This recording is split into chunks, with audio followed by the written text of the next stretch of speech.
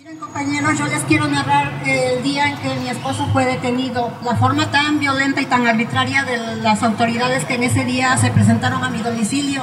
Esa mañana mi esposo se estaba preparando para iniciar su trabajo. Eh, de repente vimos que entró una policía ministerial por el patio trasero. Eh, tengo fotos de cómo quedó mi, humilde casa, mi, mi puerta, cómo quebraron los vidrios para poder entrar.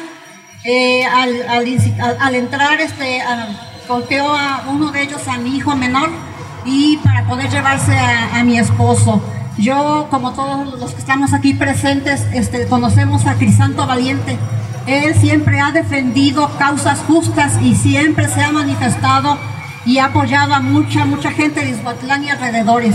Yo estoy aquí presente, él está detenido, pero yo estoy aún aquí y vengo a hablar por él, porque él se me hace una injusticia.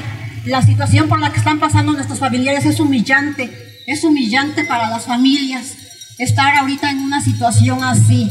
¿Debido a qué? A la corrupción de jueces, a corrupción de autoridades. Exijo libertad, libertad para estas personas que siempre se han, se han manifestado a favor de la justicia, a favor de, de, nuestros cafetaleros. El sector agrario ahorita está pasando por la situación difícil, las pasadas granizadas. Ahorita estamos levantándonos, queriendo volver a retomar el rumbo.